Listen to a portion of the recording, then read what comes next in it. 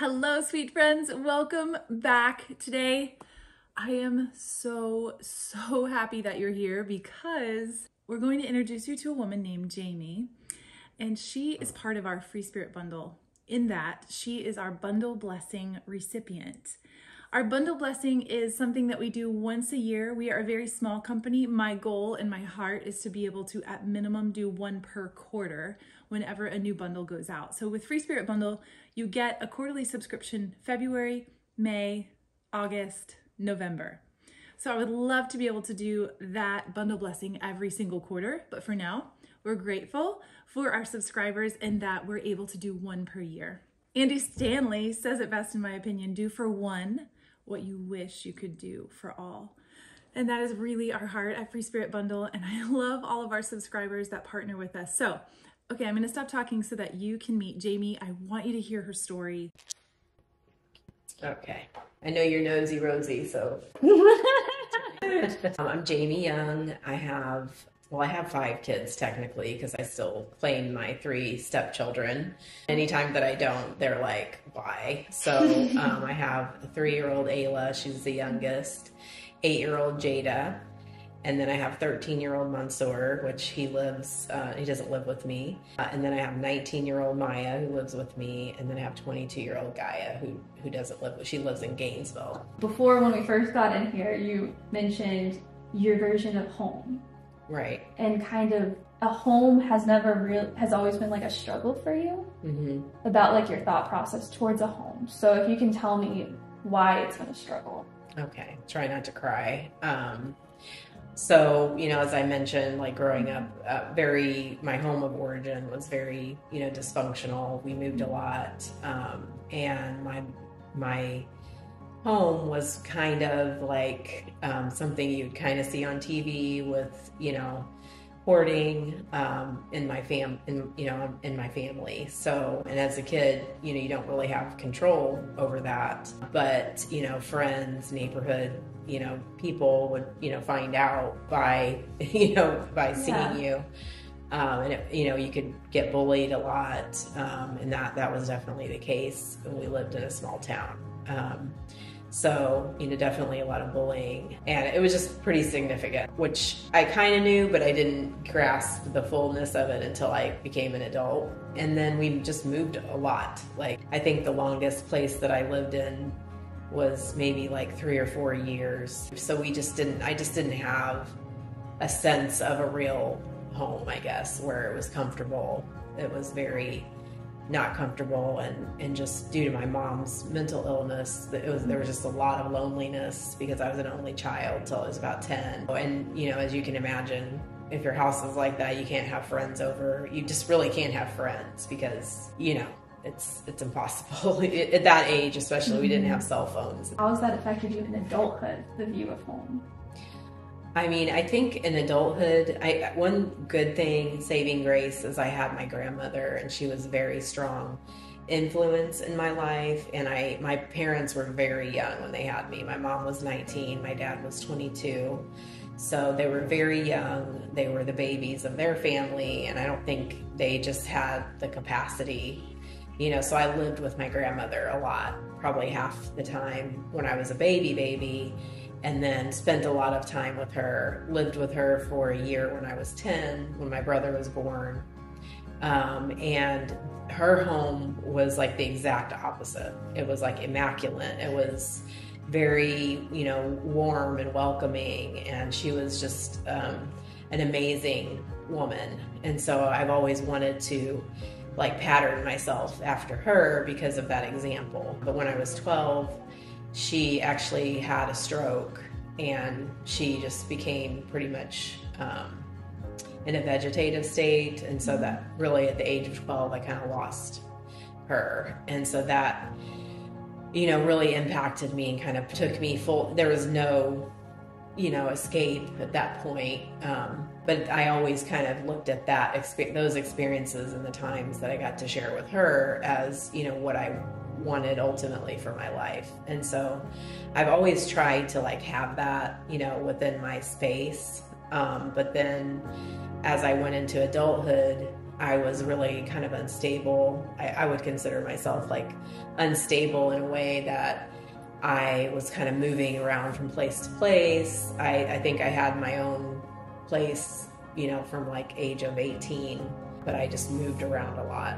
And then um, meeting my ex-husband, um, we, you know, we moved a lot for some reason. It was just we moved like every couple of years, mm-hmm. and uh, but even you know in my young adulthood, I would decorate. I would kind of go all out, and try to decorate the house. Like I would put these borders, wallpaper borders up. That I'm like, why did I do that now? But uh, I, I, really was into decorating my house. But then I'd say, you know, a few years ago, after a couple more moves and just feeling very unstable in our relationship, I just like quit, you know. And as you can see in here, it's very barren.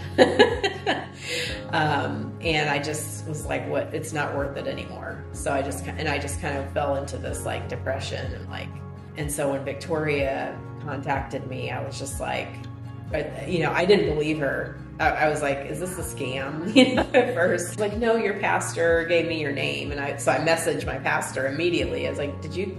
Do you know anything about this? And then she's like, "Oh yeah, you're gonna if I if it's what I think it is, you're gonna want to call her back." So I was like, "Okay." I I actually can't even conceive of what it might feel like or be like, to be honest with you.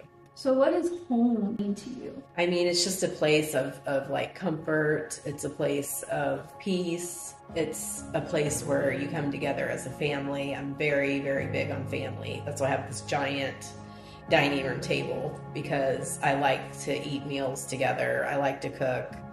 Um, and even, you know, I, I'm from St. Louis, Missouri originally.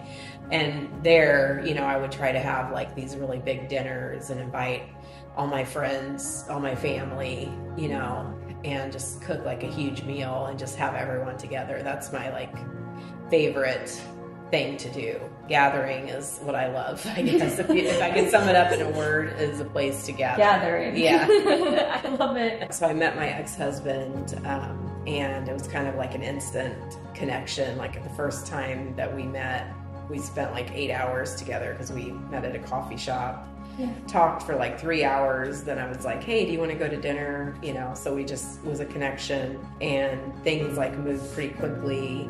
And I really didn't think that I could have children. Like I always wanted children from like the time that I was like 13 on. I was like, I cannot wait to have kids, you know, because I just wanted a family and, you know, that I didn't have, you know, growing up. And so but by that time, I was like 37, and I was like, it's there's no chance. And he already had kids, and we talked about, you know, I was like, if I could have one, that would be great, but I don't think I can. And so since you already have three, it's fine. You know, I can be stepmom. Well, lo and behold, I turned up, you know, pregnant. Um, and it was like unbelievable. And then I, after I had Jada, few years later then had Ayla and just these two girls that I just never thought I was going to have. Shortly after having Ayla, like things were already kind of rocky with us and weird things were happening. But shortly, like eight days after I had Ayla, I, I caught him being unfaithful.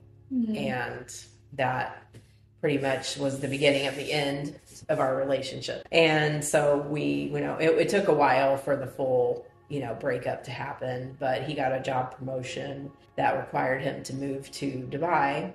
And so mm-hmm. he moved there. And at the time, I just didn't think it was a wise decision for us to follow him there. That's when we ended up moving to Florida.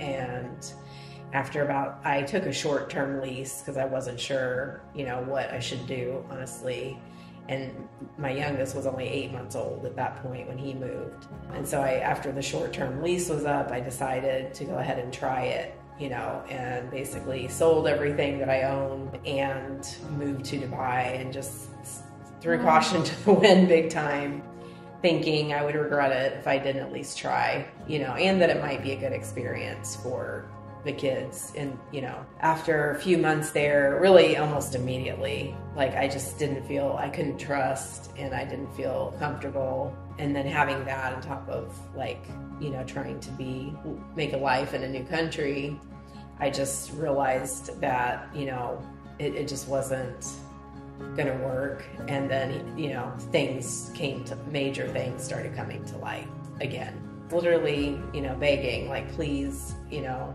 and he just was in a state of just refusal to like really work on it. And so, I mean, we moved there with like 16 bags. You know, we took as I took as much as I could physically take.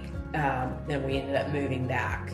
You know, and it just really felt like you know I really got a sort of like an immigrant experience. You know, coming back with almost nothing but our clothes, um, and then moved to an Airbnb and luckily, the whole time I was working, because I, I, worked remotely, so I was able to work remotely in Dubai. Um, and then, you know, just basically from there, you know, got, you know, found this house. How long ago did you move back to the States? Um, it was in December, or sorry, it was in June of 2022. So mm-hmm. when did you move out to Dubai? I moved to Dubai in December of 2021. Yeah, I had my daughter June 2020 in the midst of the pandemic. So it's been a very tumultuous, you know, few years, like a lot of life changes, like in very short mm-hmm. periods of time for the kids as well. My young, my youngest stepson Mansoor, he, he he moved to Dubai with us, and um, like around the same time that we did uh, with his mom my oldest stepdaughter was here. She was going to University of Florida, which is in Gainesville. And then I had decided, you know, Jacksonville was a good place. I'd done a lot of research and came to visit the area before I moved here. And then Maya, um, the, the my stepdaughter that lives with me, she was going to school in St. Louis, where we're from, and she just wasn't doing really well. She came there at like 17 you know, and she was by herself at the time because we were all living in Dubai. And then I said, hey, you know, why don't you just come live here? You know, you're not, you're struggling with your health, you're struggling with your classes, you're struggling with, you know, just that area of St. Louis wasn't the best area where the university was. And so she just came and, and she's been here since um, January. She's been here almost a year, so and we get along really well, so it, it, works out. They're very much, you know, I consider them my children, and I always will, you know. When I first came back, I had major PTSD, mm-hmm. but I didn't know I had PTSD. So I would just wake up in the middle of the night, just frozen with fear. And sometimes I would just be like stuck like that for hours, mm-hmm. you know. And so finally, my doctor's like, Yeah, this is PTSD. You're, you know, I'm like, How's that connected? you know? And then i you know realized like oh that's connected. So i did start getting on some medication that helped me with that. Um, and then you know doing some counseling but it's still really hard. What would you say was the hardest part when you guys did get a divorce? Honestly uh, you know i have to say it was the loss of him um, because our relationship was very like it, it was very like unstable, but we had this really amazing like connection of like friendship and of a mental kind of meeting of of our personalities the way you know w- you know beyond the issue that we the major issue that we had you know.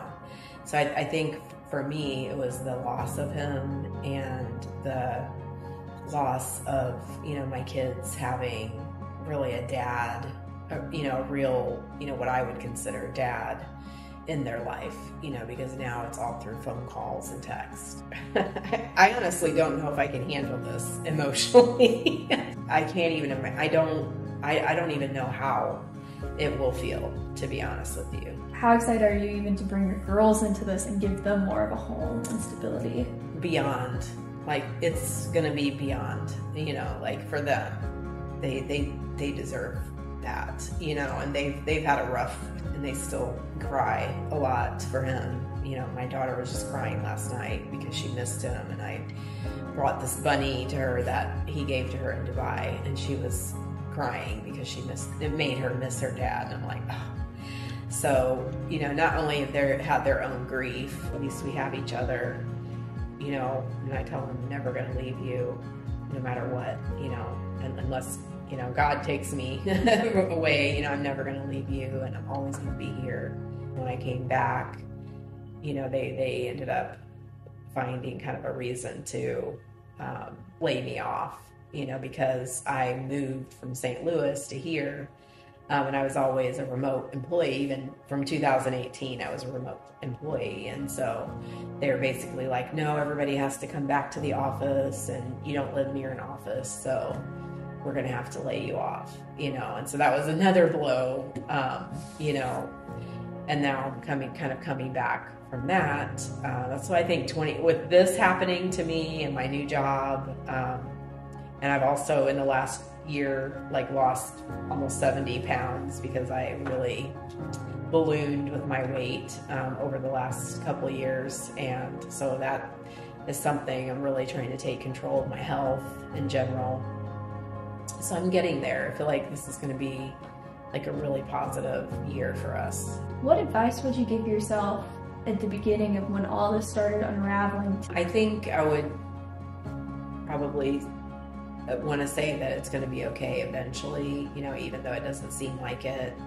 And I think for me, just because of like the the things that I grew up with, and then coming through this experience, it, it even though they're very, you know, seemingly disparate situations, very differing in their the things that were happening, um, it, it it brought back a lot of things that I didn't realize were there, and a feeling of lack of feeling of safety, you know, and you know I like that's why I was having like kind of the night terrors and things going on because I didn't feel safe, and it brought back that feeling of lack of safety when I was a kid, and I didn't even know that I struggled with that a feeling of that you know? So i would go back and i would say it's going to be okay eventually and you are safe you know you're you're safe you know? And that's something that i've learned to even say to myself when that anxiety starts rising or that you know feeling of loss starts rising um, is to tell myself like you're safe. You're okay. Nobody's hurting you right now. You can't you know you're fine. And that that always seems to like calm me down just focusing on that thought You guys, how did you did you watch it without crying? Because just thinking about it makes me cry. I am so thankful that God put Jamie in our path and that she is our 2024 recipient. I'm so excited about this.